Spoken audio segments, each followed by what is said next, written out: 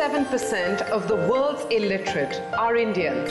58% of our kids don't complete primary school.